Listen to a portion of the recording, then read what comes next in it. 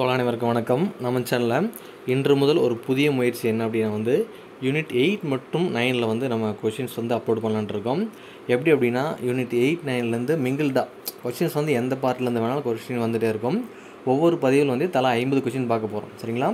இப்போது ஒரு பதிவு ஆரம்பிக்கிறோம் அப்படின்னா வந்து அதில் இரநூத்தைம்பது கொஷின் இருக்கும். அதை அஞ்சு பார்ட்டாக பார்க்க போகிறோம் அதை ஆரம்பிக்கிறதுக்கு முன்னாலே வந்து இதை வந்து நான் குரூப்பில் ஷேர் பண்ணிடுவேன் டெலகிராம் சேனலில் வந்து ஷேர் பண்ணிடுவேன். நீங்கள் படிச்சுட்டு கூட வந்து இதை பார்க்கலாம். இதை வேறு வகையில் வந்து எப்படி பயன்படுத்தலாம் அப்படின்னா நீங்கள் ஏதாவது ஒரு வேலை செஞ்சுட்ருக்கீங்க அப்படின்னா கூட இது வீடியோ போட்டுட்டு வந்து நான் இது வந்து கேள்வி பதில் அப்படிங்கிற மாதிரி தான் வந்து கொடுத்துருக்கேன். எல்லாமே வந்து ஒன் வேர்டு தான் கொடுத்துருக்கேன். ஏன் அந்த ஒன்லைன் ஆன்சராக கொடுத்துருக்கேன் அப்படின்னா கூற்று காரணங்கள் வர்றதை கூட நான் ஒன்லைன் ஆன்சராக கன்வெர்ட் பண்ணிக்கிறேன். அது எப்படின்னா நீங்கள் எந்த இடத்த நீங்கள் கண் கவனிக்க மாட்டோம் எந்த இடத்த முக்கியத்துவம் கொடுக்கணுமோ அது வந்து விடையாக வர மாதிரி வந்து நான் கொடுத்துருக்கேன். சரிங்களா? ஸோ அதனால் இதில் பேசிக் கொஷின் வரும் நீங்கள் படித்தது வரும். படித்தது வந்து அப்படின்னா வந்து ரீகால் பண்ணிங்க. படிக்காது வந்தால் வந்து இதெல்லாம் படிக்கணும் அப்படிங்கிறத நீங்கள் தெரிஞ்சுக்கணும் சரிங்களா? ஒவ்வொரு கொஷின் வந்து நிறுத்தி இரண்டு முறை வாசிப்பேன். உங்களுக்கு வந்து ரொம்பவுமே இது பயனுள்ளதாக இருக்கும். சரிங்களா? கண்டிப்பாக எக்ஸாம் முடிகிறதுக்குள்ளே எல்லா போர்ஷனும் வந்து நம்ம கொடுத்துட்டே இருப்போம். இவ்வளோ தான் கொஷின்ஸ் இல்லை. கொஷின் வந்துக்கிட்டே இருக்கும். நம்ம அப்படியே இது படித்து ரீகால் பண்ணிப்போம். உங்களுக்கு ஒரு உதவிகரமாக இருக்கிறதுக்காக தான் அது. சரிங்களா? போகலாம் முதலாவது கேள்வி. எந்த ஆண்டு முதல் மனித மேம்பாட்டு அறிக்கையை ஐநா சபையை வெளியிடுகிறது? ஆயிரத்தி தொள்ளாயிரத்தி தொண்ணூறு. எந்த ஆண்டு முதல் மனித மேம்பாட்டு அறிக்கையை ஐநா சபையே வெளியிடுகிறது? ஆயிரத்தி தொள்ளாயிரத்தி தொண்ணூறு. இரண்டாவது கேள்வி மனிதவள மேம்பாட்டு குறியீட்டை மேம்படுத்தியவர்கள். மஹபூப் உல்ஹக் பாகிஸ்தான். அமர்த்தியா குமார் சென் இந்தியா. மனிதவள மேம்பாட்டு குறியீட்டை மேம்படுத்தியவர்கள். மஹபூப் உல்ஹக் பாகிஸ்தான். அமர்த்தியா குமார் சென் இந்தியா.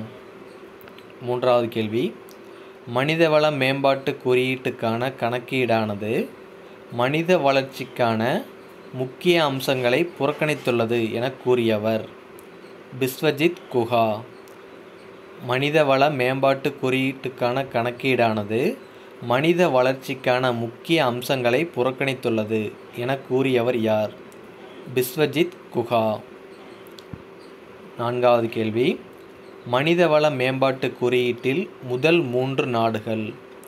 இரண்டாயிரத்தி பத்தொன்பதின் படி முதலிடம் நார்வே இரண்டாம் இடம் ஆஸ்திரேலியா மூன்றாம் இடம் சுவிட்சர்லாந்து.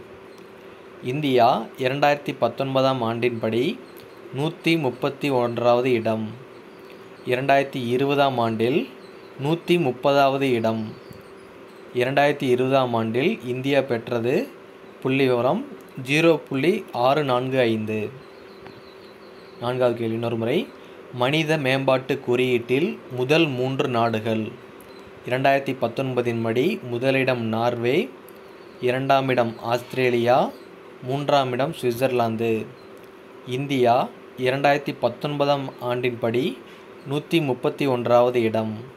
இரண்டாயிரத்தி இருபதாம் ஆண்டின்படி நூற்றி முப்பதாவது இடம் இரண்டாயிரத்தி இருபதாம் ஆண்டில் பெற்ற புள்ளி ஜீரோ புள்ளி ஆறு நான்கு ஐந்து. ஐந்தாவது கேள்வி வாழ்க்கை தர குறியீட்டு எண்ணை பிக்யூஎல்ஐ என்பதை உருவாக்கியவர் மோரிஸ் டி மோரிஸ். இந்தியா இரண்டாயிரத்தி இருபதாம் ஆண்டில் ஐம்பத்தி ஏழாவது இடம் இரண்டாயிரத்தி இருபத்தி ஒன்றாம் ஆண்டில் அறுபத்தி மூன்றாவது இடம். வாழ்க்கை தர குறியீட்டெண்ணை உருவாக்கியவர்கள். Morris D. மோரிஸ். இந்தியா இரண்டாயிரத்தி இருபதாம் ஆண்டில் ஐம்பத்தி ஏழாவது இடம் இரண்டாயிரத்தி இருபத்தி ஒன்றாம் ஆண்டில் அறுபத்தி மூன்றாவது இடம். ஆறாவது கேள்வி பிக்யூஎல்ஐ உருவாக்கப்பட்ட ஆண்டு ஆயிரத்தி தொள்ளாயிரத்தி எழுவது பிக்யூஎல்ஐ உருவாக்கப்பட்ட ஆண்டு ஆயிரத்தி தொள்ளாயிரத்தி எழுவது ஏழாவது கேள்வி. மதராஸ் பிராமண மல்லாதோர் சங்கம் உருவாக்கப்பட்ட ஆண்டு.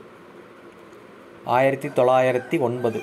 தெளிவாக பார்த்துங்க மதராஸ் பிராமணர் அல்லாதோர் சங்கம் உருவாக்கப்பட்ட ஆண்டு ஆயிரத்தி தொள்ளாயிரத்தி ஒன்பது. எட்டாவது கேள்வி. மதராஸ் ஐக்கிய கழகம் உருவாக்கப்பட்ட ஆண்டு ஆயிரத்தி தொள்ளாயிரத்தி பன்னெண்டு. மதராஸ் ஐக்கிய கழகம் உருவாக்கப்பட்ட ஆண்டு ஆயிரத்தி தொள்ளாயிரத்தி பன்னெண்டு. மதராஸ் ஐக்கிய கழகமானது பின்னாளில் மதராஸ் திராவிட சங்கம் என பெயர் மாற்றப்பட்டது மதராஸ் ஐக்கிய கழகம் பின்னாளில் மதராஸ் திராவிட சங்கம் என பெயர் மாற்றப்பட்டது ஒன்பதாவது கேள்வி. நடேசனார் திராவிட இல்லத்தை எங்கு நிறுவினார்?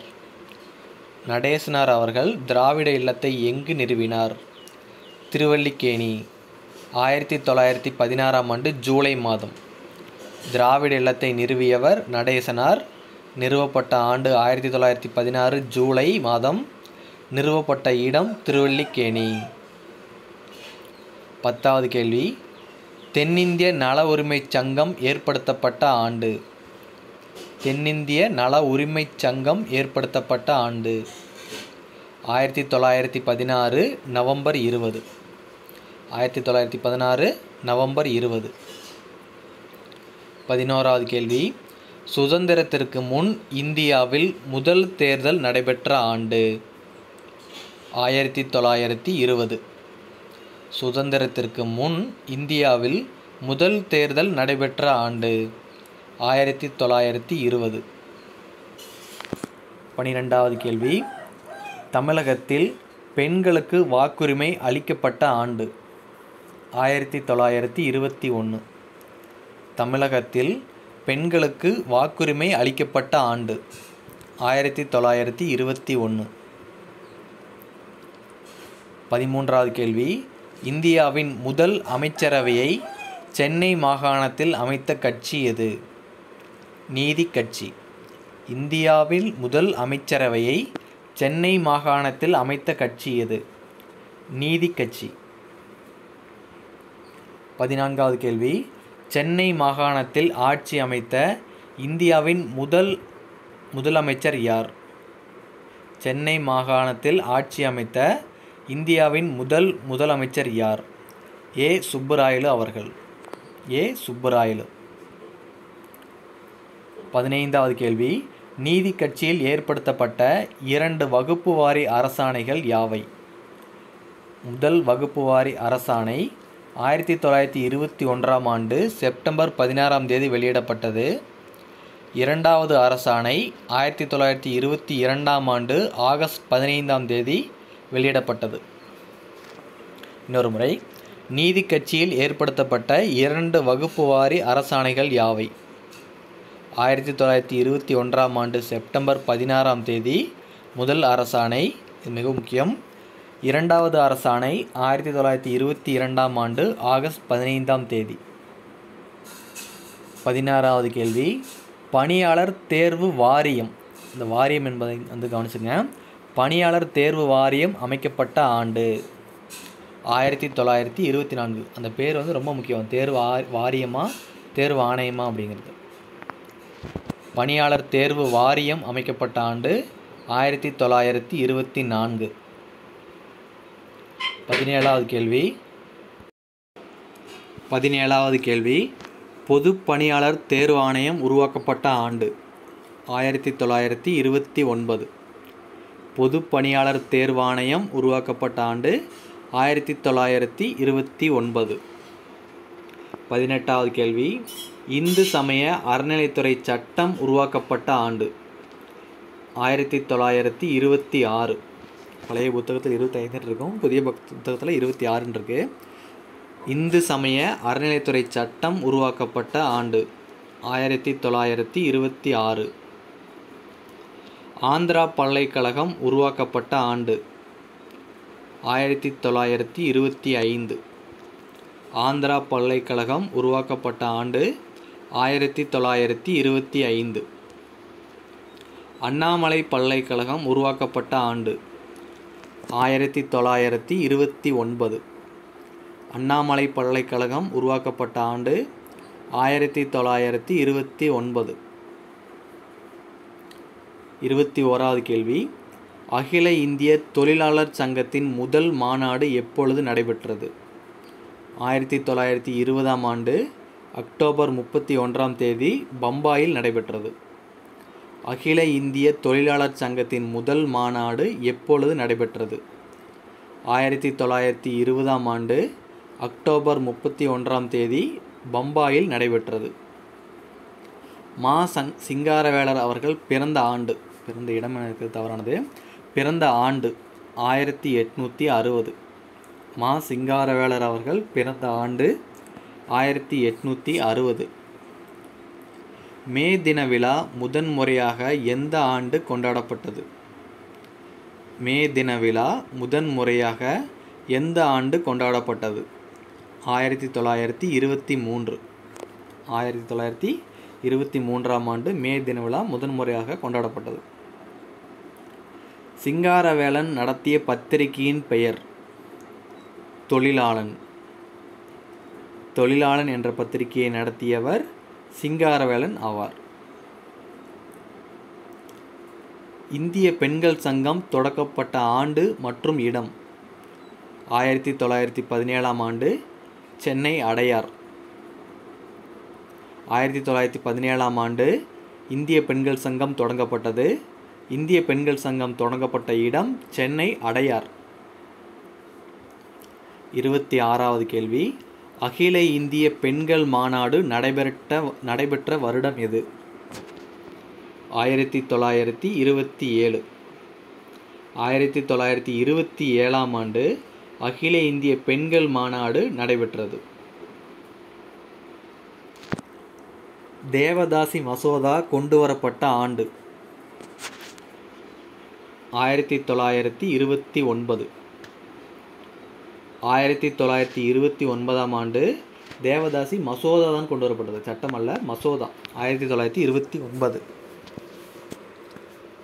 இதனை கொண்டு வந்தவர் முத்துலட்ச முத்துலட்சுமி ரெட்டி அவர்கள். தேவதாசி சட்டம் கொண்டு வரப்பட்ட ஆண்டு. தேவதாசி சட்டம் கொண்டு வரப்பட்ட ஆண்டு ஆயிரத்தி தொள்ளாயிரத்தி நாற்பத்தி ஏழு. இருபத்தி ஒன்பது ராமலிங்க சுவாமிகள் பிறந்த வருடம் அக்டோபர் ஐந்து ஆயிரத்தி எட்நூற்றி இருபத்தி மூணு. அக்டோபர் ஐந்து ஆயிரத்தி எட்நூற்றி இருபத்தி மூன்றாம் தேதி ராமலிங்க சுவாமிகள் அவர்கள் பிறந்தார். முப்பதாவது கேள்வி ராமலிங்க அடிகளார் பிறந்த இடம் சிதம்பரம் அருகே மருதூர். சிதம்பரம் அருகே மருதூர் என்ற இடத்தில் ராமலிங்க அடிகளார் பிறந்தார். முப்பத்தி ஒன்று. ராமலிங்க அடிகளாரின் பெற்றோர். ராமையா பிள்ளை சின்னம்மையார். ராமையா பிள்ளை மற்றும் சின்னம்மையார் ராமலிங்க அடிகளாரின் பெற்றோர் ஆவார். முப்பத்தி மூன்று. முப்பத்தி இரண்டு. ராமலிங்கர் அவர்களின் தெய்வீக ஆற்றல் வெளியான போது அவருடைய வயது. பதினொன்று. ராமலிங்க அடிகளார் அவர்கள் பதினொன்று வயது உள்ள பொழுது அவரிடம் தெய்வீக ஆற்றல் வெளியானது. முப்பத்தி மூன்று ராமலிங்க அடிகளார் சமரச சுத்த சன்மார்க்க சங்கம் நிறுவிய வருடம். ஆயிரத்தி எட்நூற்றி அறுபத்தி ஐந்து. ராமலிங்க அடிகளார் அவர்கள் ஆயிரத்தி எட்நூற்றி அறுபத்தி ஐந்தாம் ஆண்டு சமரச சுத்த சன்மார்க்க சங்கத்தை நிறுவினார். நான் இந்த மாதிரி சொல்கிறது நல்லாயிருக்குன்னு நினைக்கிறேன். முதல்ல வந்து கேள்வி பதிலாக சொல்லிவிட்டு அடுத்து ஒரு செய்தியாக சொன்னோம்னா இன்னும் கொஞ்சம் ரெண்டு ஆங்கிளையும் படித்தோம்னா உங்களுக்கு மெமரி ஆகும்னு நினைக்கிறேன். அடுத்தது ராமலிங்க அடிகளார் சத்திய ஞான சபை தொடங்கிய வருடம். ராமலிங்க அடிகளார் சத்திய ஞான சபை தொடங்கிய வருடம் ஆயிரத்தி எட்நூற்றி எழுபத்தி இரண்டு. ஆயிரத்தி எட்நூற்றி எழுபத்தி இரண்டாம் ஆண்டு ராமலிங்க அடிகளார் சத்திய ஞான சபையை தொடங்கினார். முப்பத்தி ஐந்து ராமலிங்க சுவாமிகள் எழுதிய பாடல்களின் தொகுப்பு. திருவருட்பா பேரை நல்லா பார்த்துங்க. திருவருட்பா. திருவருட்பா என்பது ராமலிங்க சுவாமிகள் எழுதிய பாடல்களின் தொகுப்பாகும். முப்பத்தி ஆறு மருட்பா என்பதன் பொருள். மருட்பா என்பதன் பொருள் அறியாமையின் பாடல்கள். அறியாமையின் பாடல்கள். முப்பத்தி ஏழு வைகுண்ட சுவாமிகள் ஆயிரத்தி எட்நூற்றி ஒன்பதாம் ஆண்டு பிறந்த இடம். கன்னியாகுமரி மாவட்டம் சாமித்தோப்பு எனப்படும் சாஸ்தா கோவில் விலை கிராமம். வைகுண்ட சுவாமிகள் பிறந்த ஆண்டு ஆயிரத்தி எட்நூற்றி ஒன்பது. பிறந்த இடம் கன்னியாகுமரி மாவட்டம் சாமித்தோப்பு எனப்படும் சாஸ்தா கோவில் விலை கிராமம். வைகுண்ட சுவாமிகளின் இயற்பெயர். முடிசூடும் பெருமாள். முடிசூடும் பெருமாள் என்பது வைகுண்ட சுவாமிகளின் இயற்பெயர் ஆகும். முப்பத்தி ஒன்பது மேல்தட்டு மக்களின் எதிர்ப்பின் காரணமாக வைகுண்ட சுவாமிகள் தனது பெயரை எவ்வாறு மாற்றிக்கொண்டார் முத்துக்குட்டி. வைகுண்ட சுவாமிகள் மேல்தட்டு மக்களின் எதிர்ப்பின் காரணமாக தனது இயற்பெயரான முடிசூடும் பெருமாள் என்பதை முத்துக்குட்டி என மாற்றிக்கொண்டார் அடுத்தது சரியா தவறா? நாற்பது. வைகுண்ட சுவாமிகள் ஆங்கில ஆட்சியை கருப்பு பிசாசுகள் ஆட்சி என்று கூறினர். இரண்டாவது திருவிதாங்கூர் ஆட்சியை வெள்ளை பிசாசுகள் ஆட்சி என விமர்சித்தார். சரியா தவறா? இரண்டும் தவறு. ஏனென்றால் இவர் ஆங்கில ஆட்சியை வெள்ளை பிசாசுகள் ஆட்சி என்றும் திருவிதாங்கூர் ஆட்சியை கருப்பு பிசாசுகள் ஆட்சி என்றும் கூறினார். வைகுண்ட சுவாமிகள் சாமித்தோப்பில் தியானத்தை தொடங்கிய வருடம் ஆயிரத்தி எட்நூற்றி முப்பத்தி மூன்று. வைகுண்ட சுவாமிகள் அவர்கள் ஆயிரத்தி எட்நூற்றி முப்பத்தி மூன்றாம் ஆண்டு தனது தியானத்தை சாமித்தோப்பில் எந்த இடத்தையும் தெரிஞ்சுங்க சாமித்தோப்பில் தொடங்கினார். வைகுண்ட சுவாமிகள் நிறுவிய அமைப்பு. சமத்துவ சமாஜம். சமத்துவ சமாஜம் என்ற அமைப்பினை நிறுவியவர் வைகுண்ட சுவாமிகள். வைகுண்ட சுவாமிகள் சமய வழிபாட்டு முறை எவ்வாறு அழைக்கப்பட்டது? ஐயாவளி. ஐயாவளி என்பது வைகுண்ட சுவாமிகளின் சமய வழிபாட்டு முறை ஆகும். நாற்பத்தி நான்கு வைகுண்ட சுவாமிகளின் கருத்துகள் அடங்கிய நூல் எவ்வாறு அழைக்கப்படுகிறது? அகில திரட்டு மற்றும் அருள்நூல். அகில திரட்டு மற்றும் அருள்நூல் என்பது வைகுண்ட சுவாமிகளின் கருத்துகள் அடங்கிய நூலாகும். நிழல் தாங்கல் என்ற பெயரில் வழிபாட்டு தலங்களை நிறுவியவர் யார்? வைகுண்ட சுவாமிகள். வைகுண்ட சுவாமிகள் அவர்கள் நிழல் தாங்கல் என்ற பெயரில் வழிபாட்டு தலங்களை நிறுவினார். நாற்பத்தி ஆறு அயோத்திதாசர் பிறந்த வருடம் ஆயிரத்தி எட்நூற்றி நாற்பத்தி ஐந்து வைகுண்ட சுவாமிகள் ஆயிரத்தி எட்நூற்றி மூணு வள்ளலார் ஆயிரத்தி எட்நூற்றி இருபத்தி மூணு அயோத்திதாசர் அவர்கள் ஆயிரத்தி எட்நூற்றி நாற்பத்தி ஐந்து. அயோத்திதாசர் நிறுவிய அமைப்பு எது? அத்வைதானந்தா சபா. அத்வைதானந்தா சபா என்ற அமைப்பை நிறுவியவர் அயோத்திதாசர் ஆவார். திராவிடர் கழகம் என அமை என்ற அமைப்பு நிறுவப்பட்ட ஆண்டு ஆயிரத்தி எட்நூற்றி எண்பத்தி இரண்டு. ஆயிரத்தி எட்நூற்றி எண்பத்தி இரண்டாம் ஆண்டு திராவிடர் கழகம் என்ற அமைப்பு நிறுவப்பட்டது. திராவிடர் கழகம் எனும் அமைப்பை நிறுவியவர் யார்? அயோத்திதாசர் ஜான் திரவியம். அயோத்திதாசர் மற்றும் ஜான் திரவியம் ஆகியோர் இணைந்து திராவிடர் கழகம் என்ற அமைப்பை ஆயிரத்தி எட்நூற்றி எண்பத்தி இரண்டாம் ஆண்டு நிறுவினர். அயோத்திதாசர் தொடங்கிய இதழ் எது? திராவிட பாண்டியன். திராவிட பாண்டியன் என்ற இதழை அயோத்திதாசர் அவர்கள் தொடங்கினர். இதோட இந்த பதிவு முடிவு முடிச்சுக்கலாம். மீண்டும் அடுத்த பதில் சந்திப்போம். நன்றி வணக்கம்.